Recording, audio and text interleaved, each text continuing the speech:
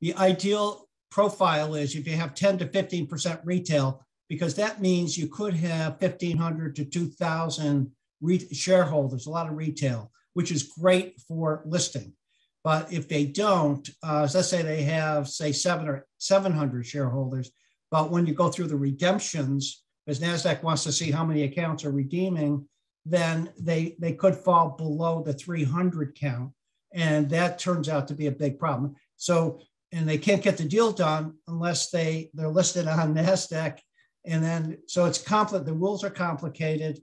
So they call us, we get on the phone and we try to figure out what the rules are, what NASDAQ want, when they want it. Depends what type of merger it is. Sometimes they want it before the closing, sometimes they want it after the closing. So it's it's never easy.